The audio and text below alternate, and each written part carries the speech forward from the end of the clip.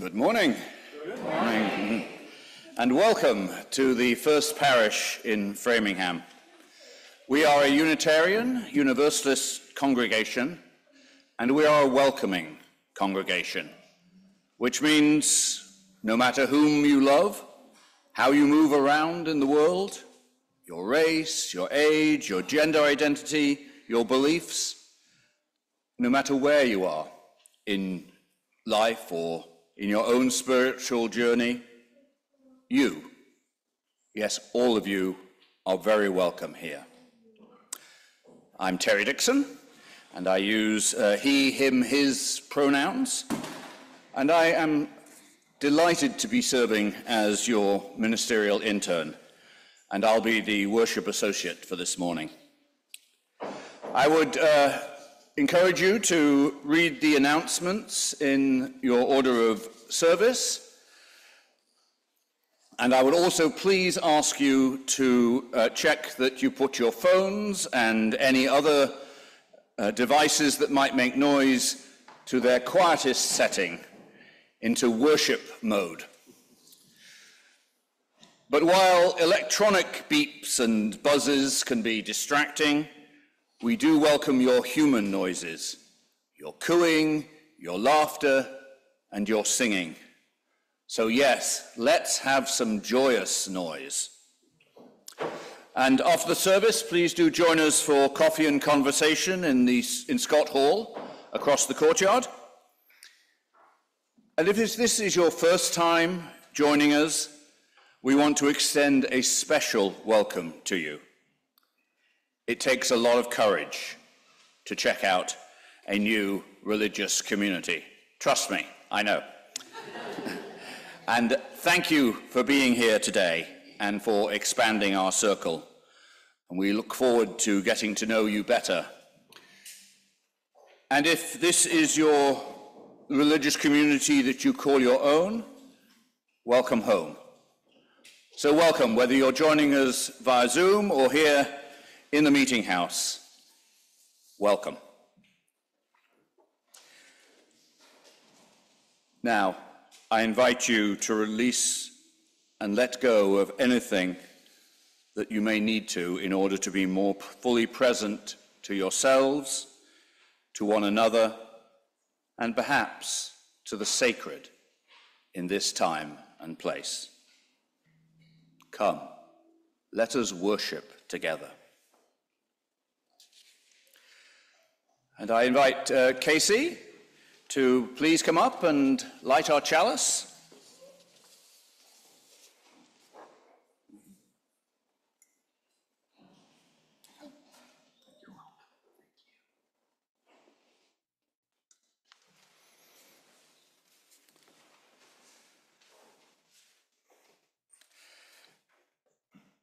We light this chalice, this beautiful flaming symbol of our faith and our ingathering in community, with these words by the Reverend Napoleon Lovely.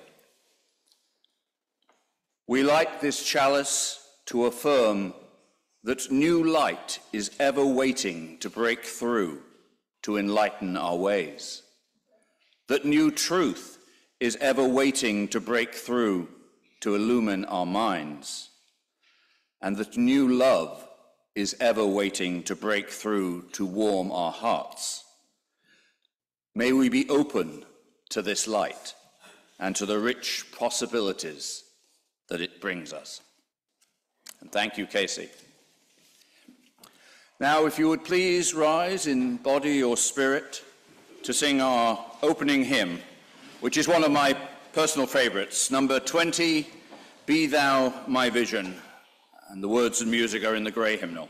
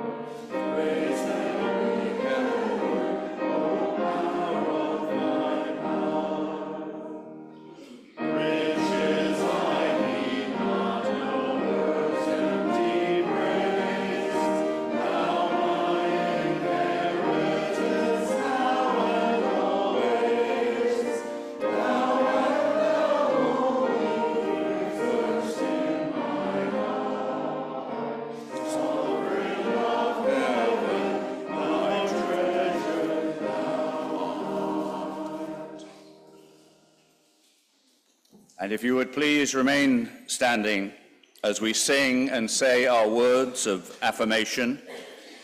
And as we do, I would invite you to face into the center of the meeting house so that you can see each other and acknowledge every person as part of this blessed community.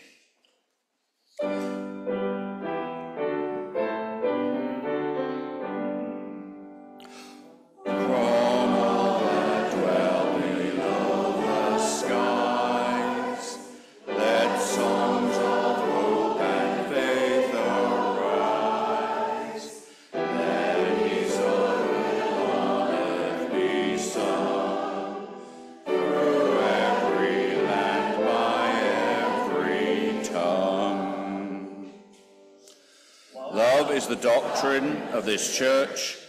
The quest of truth is its sacrament, and service is its prayer. To dwell together in peace, to seek knowledge in freedom, to serve all life with compassion. To that end, all souls shall grow into harmony with the divine. This is our great covenant, one with another and with our God.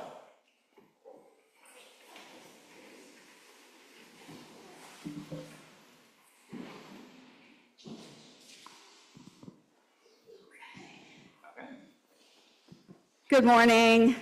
Good morning. I'm Lauren Strauss. I'm the Director of Religious Exploration here at First Parish. I use she, her pronouns, and I'd love to say with you all, although I'm holding lots of things, so it's going to be tough.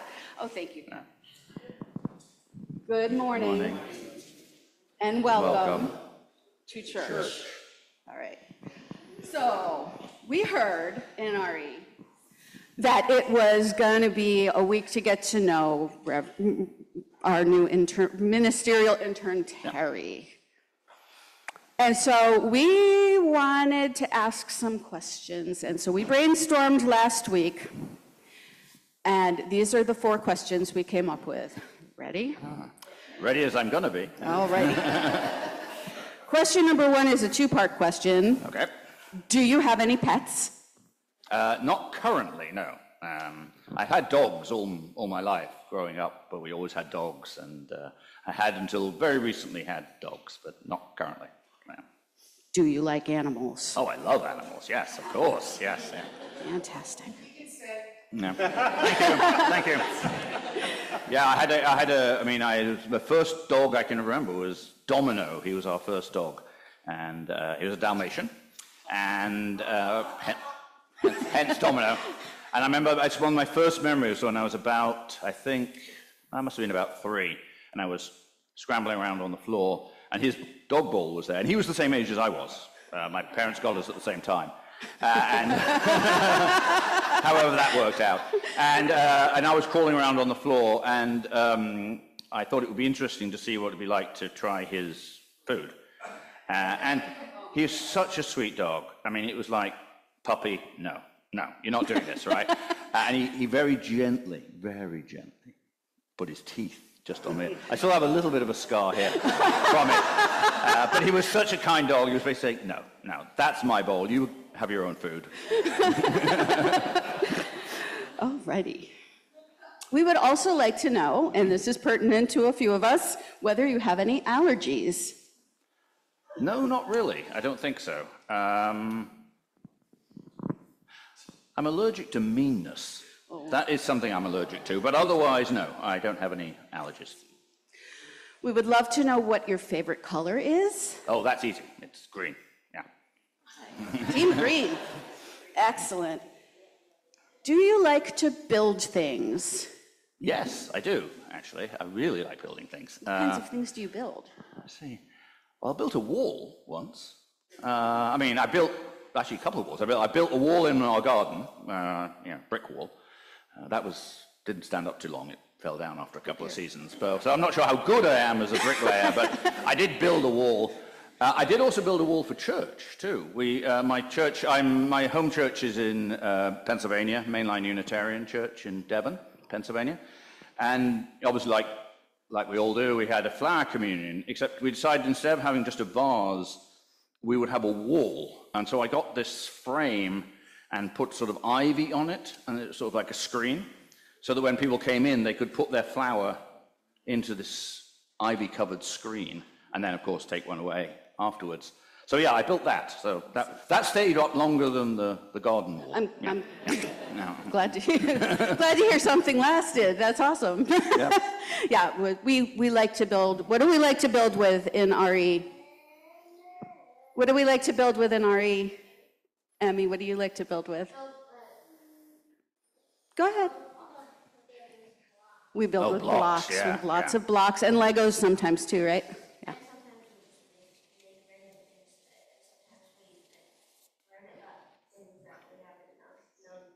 Sometimes we make random things, and sometimes we learn about things we haven't known. Well, will, will you let me come over and build some things with your blocks? Oh, great. Okay. Not today, Terrific. though, Thank because Terry has to do the rest of the service, so another day he'll come play Later with on, us. later on, yep. Awesome. If, if um, all of you would help sing our children and teachers and me to church school, we would really appreciate it. Thank you very much, Thank Terry. you. Thank you.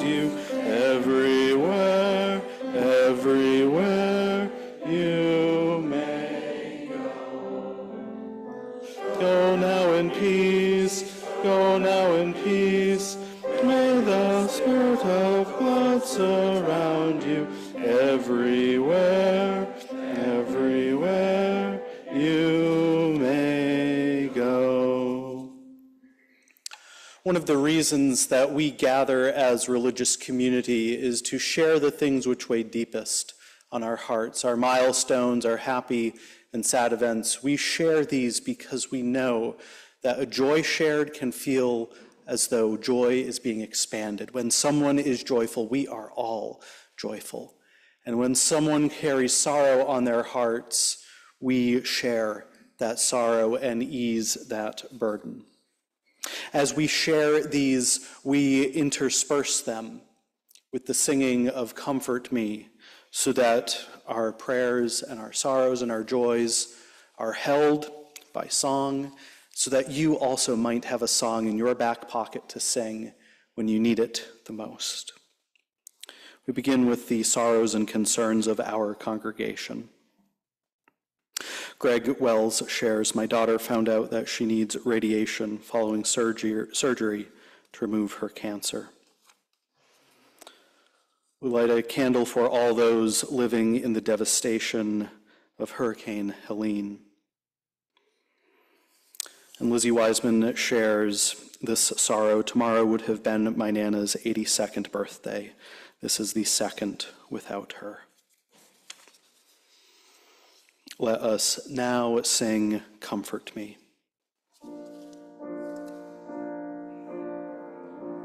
Comfort me,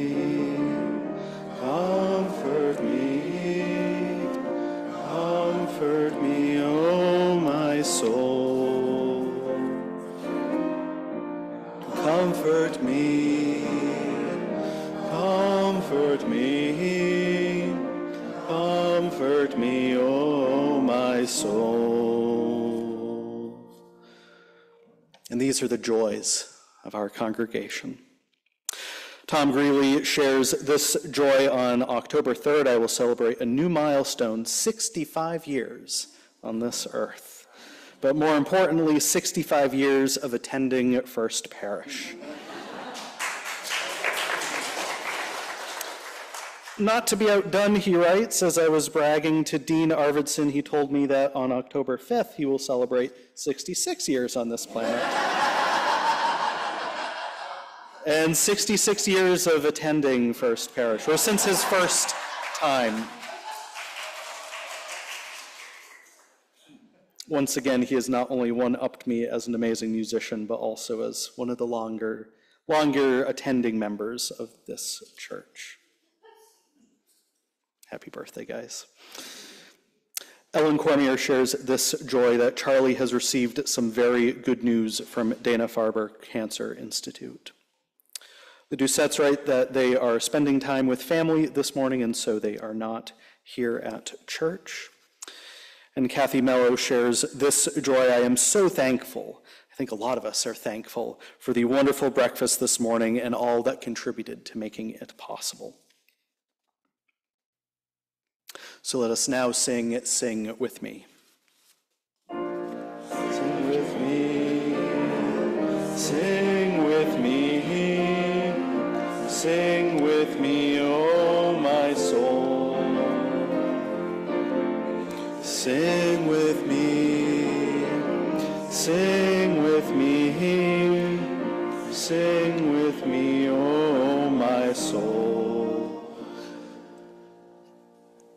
And finally, we light a silent candle for all of the joys and all of the sorrows that remain too tender to share, but are deeply held and felt by this gathered community. Let's sing the final verse Speak for me.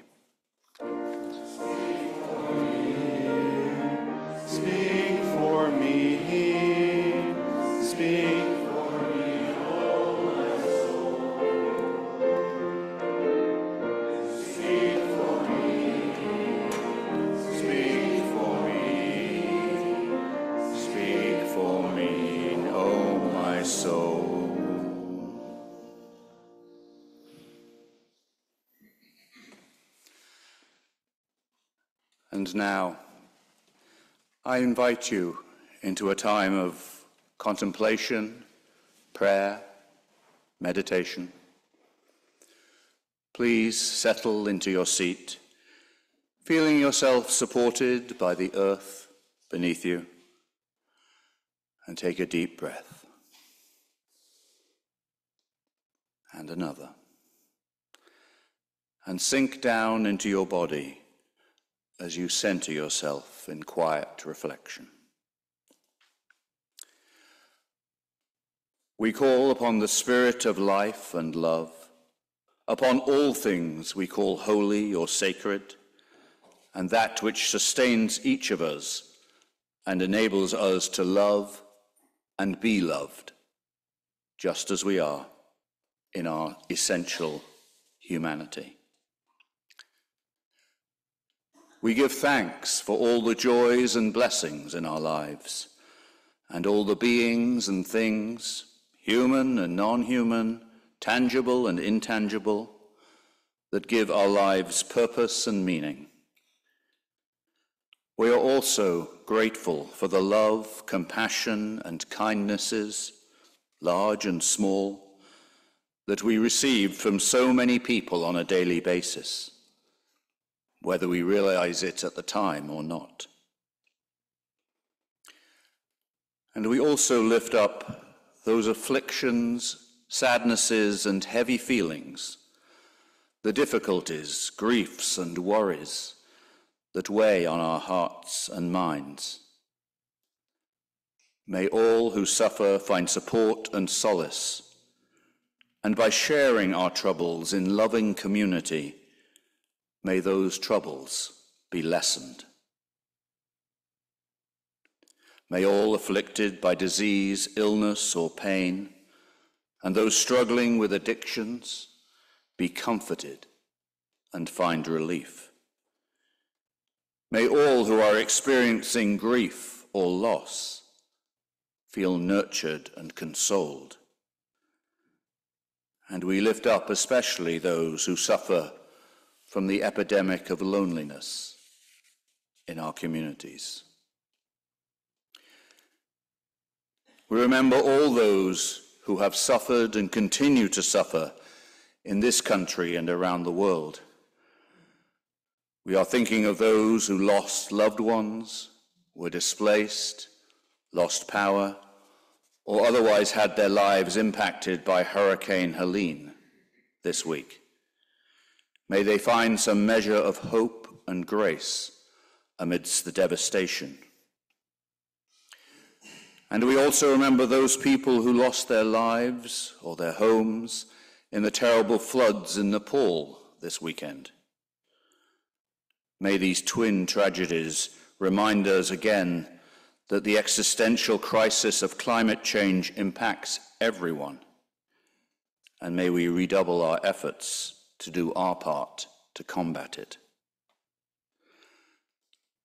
We also lift up all the people in the Middle East, whether in Israel, Gaza, the West Bank, Lebanon, or elsewhere. We pray that further escalation of hatred and conflict is avoided. May all involved recognize and appreciate the humanity of the other. May the immense suffering end, and may there be true, just, and lasting peace in the region. We also recognize that each and every one of us misses the mark from time to time. We all can and do hurt one another, create distance between us, and cause suffering by what we do and say, or don't do and don't say, and by how we exclude or diminish others, even if not intentionally. May we each find the strength to forgive ourselves and others for our very human failings. And may we also recommit ourselves to living in loving kindness and humility with each other and pursuing greater justice for all. And now, I invite you to join in a minute of silence for personal reflection or prayer.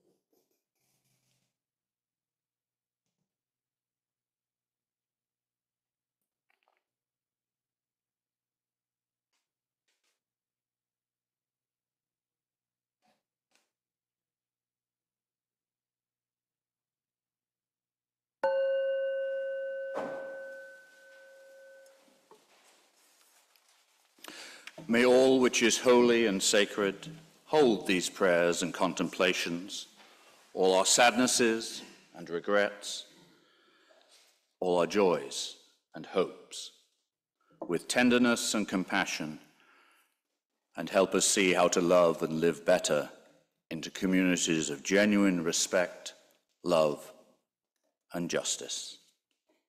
Amen, and blessed be.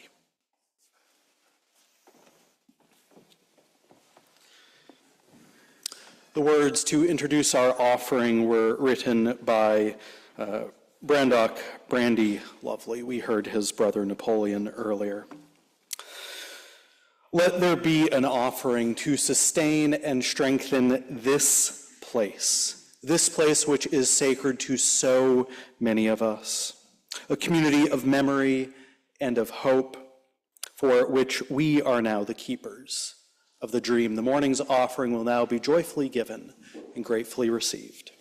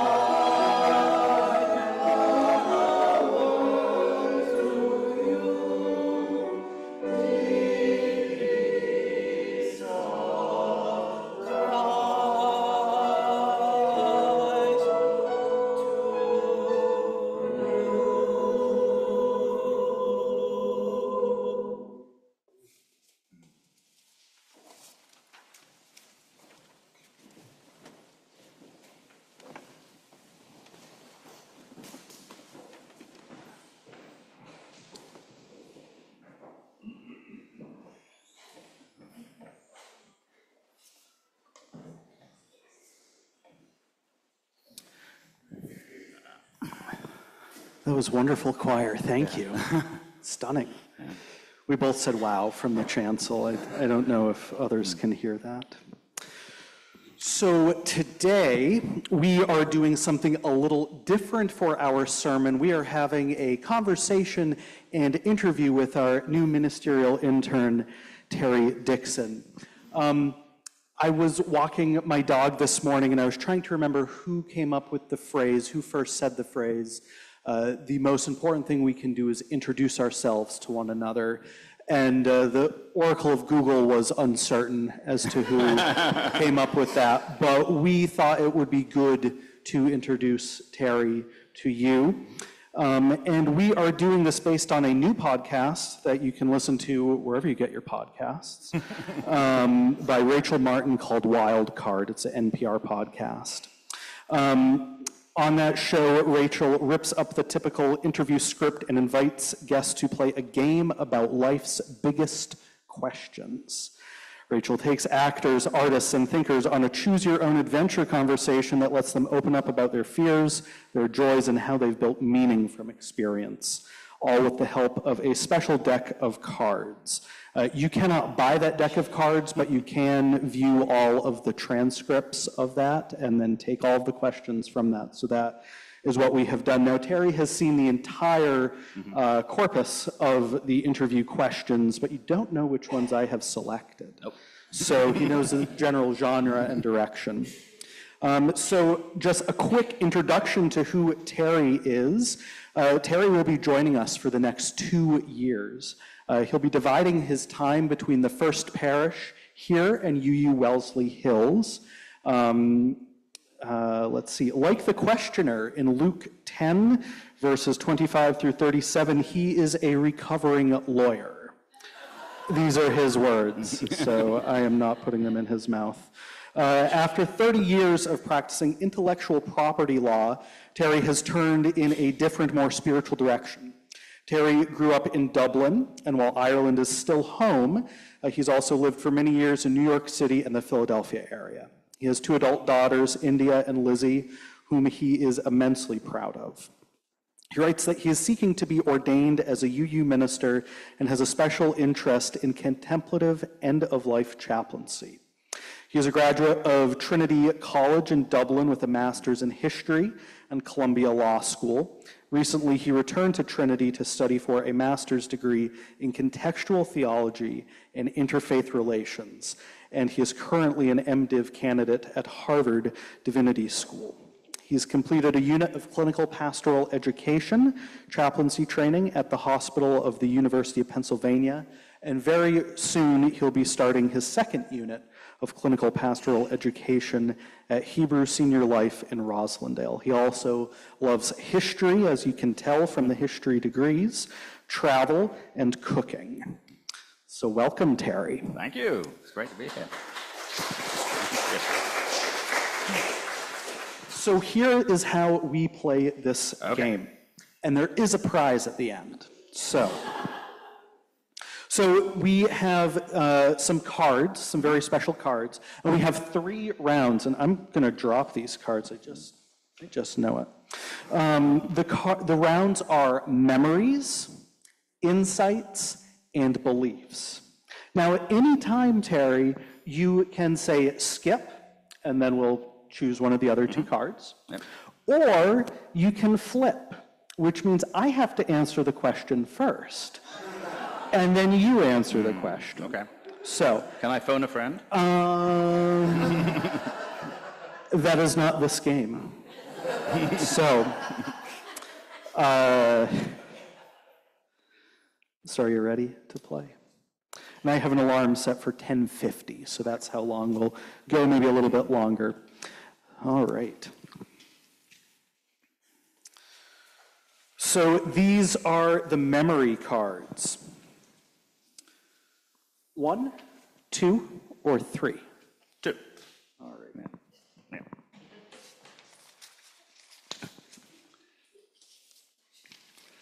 I can peek at the questions.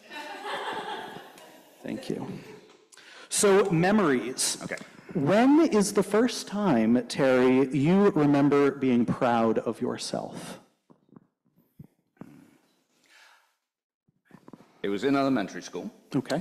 Um, and I was uh, on the soccer team, and it was one of those typical, you know, kids' soccer teams where everyone just runs, runs around and in a mob and chases the ball. But I was the goalie, so I was the only one who was not part of this mob running around. And the mob sort of came towards me. Uh, I was standing in the goal, like, you know, ready to try to save the ball. And it sort of came, and then the ball was in the middle of this mob, and I pounced into the mob. Yeah. And grabbed the ball and held onto it. and people started to cheer. I don't know why, because I grabbed the ball, but, Yeah. but there was this idea I could just dive into the middle of this swirling mass of people and grab the football. Hmm. And I was like, yes. So that was, I must have been about five, I think. You saved the day. That was the Yeah. feeling of, yeah, I've really done something. Right. Did, did your team win at the end? Um, I don't remember. We did, Okay. get, we, did- we, did, we did get like slices of orange afterwards. Well, that was the, that's a great that was the main that was the main play, Yeah. purpose of playing. Absolutely, Yeah, yeah. Great. All right, well, you won that round. Um, Now, oh, I have an assist. Thank you so much, Ah. thank you. Kathy. Perfect. All Makes right. me think we're doing something like. I mean, this is you know getting to know you. It's sort of like with the law, uh, the king and I, or something. Right? Y- Yes, Getting to yes. know you, getting to know about you. All right, so we have three more cards Mm-hmm. for the memories round. Okay, One, two, or three. You picked two last time, I did. right? Uh, I'll go with one this time. All right. One, ooh, this. This is a good one. They're all good ones, but this is good. What was your form of rebelling as a teenager? Um, hmm.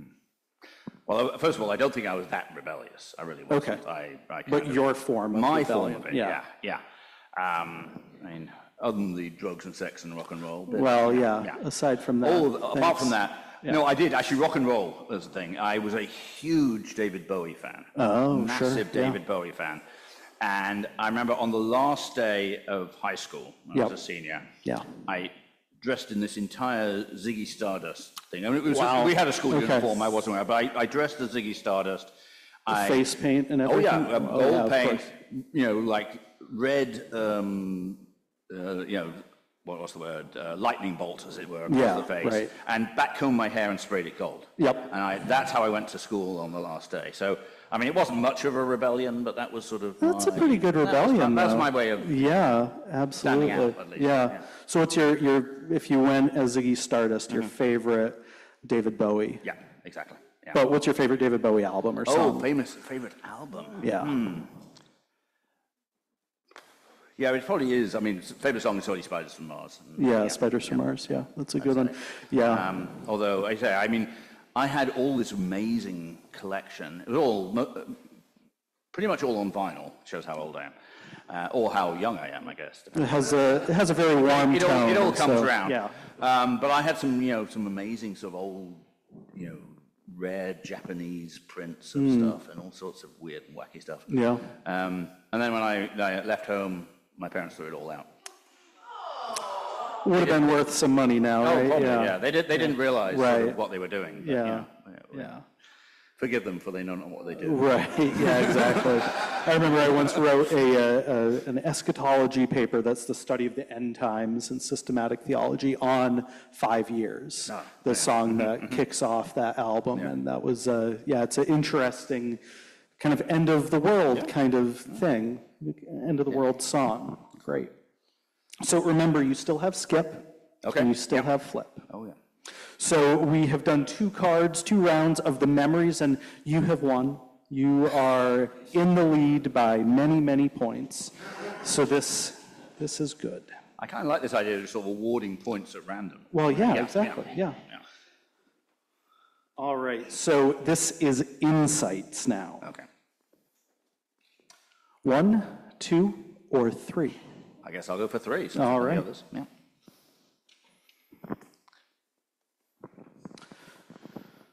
Insights. What is proof that someone really knows you? Hmm. Okay. Give me me some time to think. I'm going to flip that one to you. I was afraid of that. What's proof that someone really knows Aaron? Um, I would have to say, you, when you know what someone is like when they get tired, and you know the signs that they're getting tired, uh, cranky, anxious, you know, that sort of thing. Um, yeah, I, I tend to want to be well, well rested around all of y'all, so uh, that would be a sign that someone knows who I really am, is if they've seen, you know, if they've seen someone at their worst. Uh, so when, if someone knows, ah, Aaron's getting tired, uh, that, that would definitely be a sign that they really know me. Have you given some thought to this now? I do, and it's Okay. actually similar. My, my partner Helen definitely knows me well, and she knows that when I kind of flip out, which I do occasionally, if she just leaves me alone for probably about, uh, yeah, half an hour, an hour, two on a really bad time, uh, I will, I will calm down because I do. And yeah, I'm, I can be mercurial, but it's sort of, it's, it's a bit like hydrogen. It can go, then it's gone. Uh, so it's, yeah, so Helen knows me very well and knows to know that, yeah, kind of the same sort of thing, just this is when these are, this is going to happen and just to let it play itself out because it will. So I'm wondering if we have a little bit more time for the insight questions. So Yeah. we just have two this time, because this is all improv and everything is made up. So one or two? Very binary. I'll go with um, two. Two. What have you learned to take less seriously? Myself, obviously. Yeah. I mean, that's the obvious answer to that question, or at least should be. Um, also, the world as well. I mean, I'm realizing the world. I mean, one of the advantages of growing up in Ireland was there's this idea of uh, people not taking themselves seriously is a very important, like, cultural thing in Irish uh, culture. That this idea of, you know, and copping on is the term that's used in Ireland, which means to sort Copping of to on. cop on means to and have to have cop on uh, is to sort of realize what's really important and what's really going on. And it can be just like understanding how things are going, but it's also very much not taking yourself seriously and just uh, and letting things go. Because in Ireland, this, and this is actually go back to the further previous question. To, the way that you know somebody really knows you and loves you uh, is to slag you. In, in, our, in Ireland, slagging somebody is, you know, it's, it's ribbing them. It's sort of, uh, uh, it's like a roast, but in a sort of a private way. Uh, and, and, and, private and, and, roast. And if you know somebody really well, or you know they know you really well, you'll slag one another because you're, it's, it's this whole dive, for God's sake, don't take yourself so seriously. Don't take whatever's going on in life too seriously. Yeah. And certainly, you know, you know, who do you think you are in a, in a nice way? Right, yeah. That's what it's about. Yeah. So knowing what I know about global Unitarian Universalism, I'm aware that there is not a big presence in Ireland. Am I accurate in that? Uh, yeah, that's true. I Yeah. mean, there are a couple of U- Unitarian churches, and they are Unitarian rather than Unitarian Universalist. Although actually, uh, they use the Grey Hymnal Oh, uh, okay. in the Dublin Unitarian Church. It's a beautiful church, by the way. It's sort of 19th century. Um, there have been Unitarians in Ireland since the 17th century. Right. Uh, one of them came over with Oliver Cromwell, who was not particularly well liked in Ireland. Um, but uh, but, but the, the Unitarians were sort of, you know, uh, in that Puritan tradition. Um, so they, yeah, so so uh, there, there have been Unitarians, and in fact, there was a Unitarian minister who was imprisoned Oh. for two years for preaching Unitarianism. Uh, so it's dangerous. Um, uh, because yeah, because it wasn't until I think it was about 1820, about then, Yeah. that Unitarianism became legal. Wow, In, okay. uh, in Britain and Ireland. So how did you become Unitarian Universalist? Because I'm guessing you were not raised in that tradition. No, no, What I was your journey Yeah, yeah. to this? I, was, I mean, I was raised, um, I was on church, basically. My, my mother's side of the family's all been, uh, all atheist. Uh, my dad, well, my father was raised Christian scientist, became, a, but became an, an agnostic. Hmm. Uh, and so I was basically raised unchurched. Although in Ireland, there's this thing, you know, you, you, you because of our, the way Ireland is, um, you, you can be an atheist, but you either have to be a Catholic atheist or a Protestant atheist. Right? so essentially, I was a Protestant atheist. I went to an Anglican, you know, Episcopal school, and the youth group there was sort of affiliated with the church, so I was sort of in that Yeah. mix. Um, but no, it wasn't until I came, um, you know, came over here, and uh, my, my my wife at the time and I, were, I just had our uh, girls, and you know the other joke: the Unitarians are Unitarian Universalists are atheists who have kids, right? Uh, so we decided we should need, we needed to find a place. I don't actually agree with that, but uh, but we need He to said find he a doesn't place agree uh, with to, that. to have uh, some you know a spiritual home for the, for the kids because we thought that was really important, and uh, we went to Mainline Unitarian, um, and yeah, fell in love with the place, and. Uh, Great, great. It was about 20 odd years ago. 20 odd years ago. Very good. All right. We have three questions for this final round, three cards. One, This is for all the marbles. uh, it's for all of the marbles, Okay. but you're also, you need 500 points to win, but you're also the only person playing, so you're, you're doing all right. You're doing all right. Hopefully the judges will be kind. Yes, Yeah. They are. They are a wonderful congregation. One, two, or three? Two. Two. Oh, this is a good one. They are all good questions. Yeah, good question. They're all good questions. They're all good dogs. Um, ha- where have you experienced awe? Ah. Lankenau Hospital in Pennsylvania. Uh, uh, um, and that was the birth of my daughters. Yeah, particularly, I mean, India is, uh, India and Lizzie, my daughters, uh, 25 and 22 now. But when India was born, um, I forget the technical term, but she was born what's called like sunny side up. So instead of being head down, her, her face was up, as it were. Um, uh, which was amazing because then the the, uh, uh, uh, the the room filled with all of these medical students who had never seen this and they were called in to see this experience. But for me, it was just this incredible moment of awe because her face came up and I looked directly into her face and it was like, yeah, and that I mean. That, that moment, becoming a father, uh, but seeing her face like that yeah. was just amazing. Um, uh, didn't happen quite the same way with Lizzie, but it's equally awe-inspiring. Yeah. But, it, but that first time was, and, Right. and the fact she was sunny side up was awe, definite awe. Wonderful. Well, Terry, you have won the game. Well done. Well done, Dean. Thank you. So, your grand prize. Oh, wow, okay. This is the grand prize. You get a trip in our memory time machine to revisit one moment from your past. It's a moment that you would not change, but that you want to just stretch out a little bit longer, just to spend a little bit more time there. What moment would you choose? Well, um, my father passed away this, this summer, Yeah. a couple of months ago.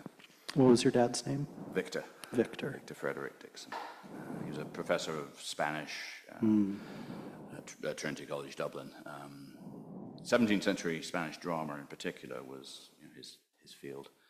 Um, but his great love was opera. And um, I didn't, I didn't realize that, I assumed all dads sang opera around the house. I thought that's just what dads Yeah, did. of course, Right. Uh, uh, but he used to, yeah, he used to go all around the house singing opera. Uh, and uh, particularly, he loved the um, Zauberflöte, the magic flute, and uh, particularly um, the, because he was a baritone, the Papageno role. And so he would, uh, uh, he would sing this all around the house. And it wasn't actually, I mean, so growing up we had this, and then I just remember if I could go back and just hear him sing again, hmm. that would be the, the thing I'd like to hear. Yeah. That's beautiful.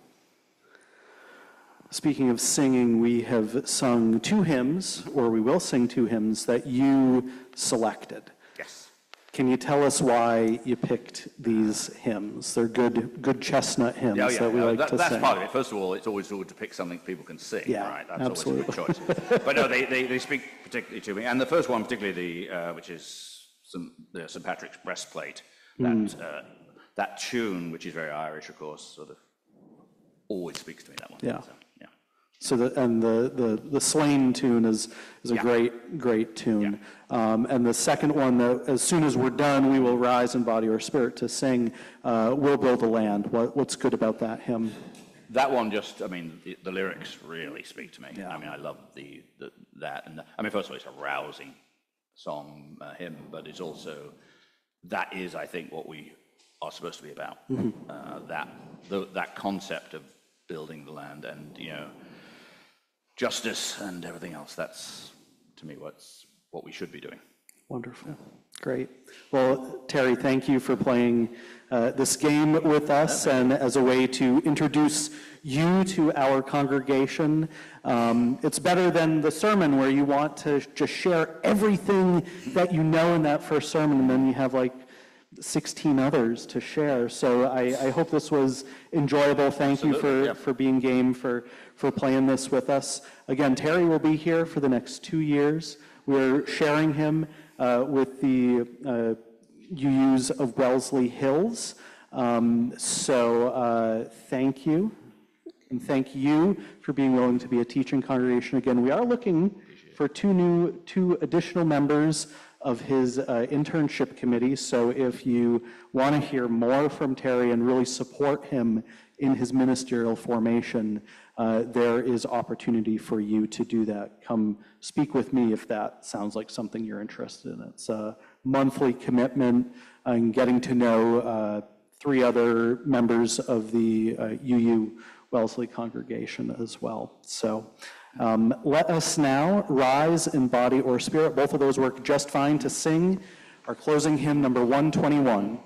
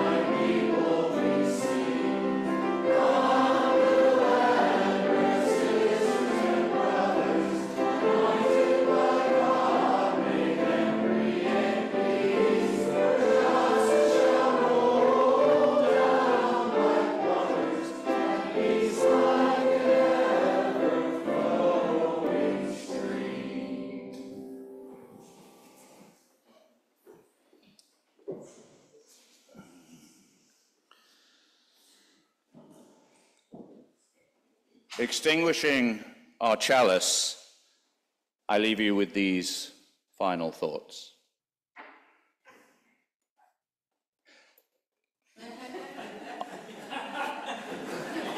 Whatever works.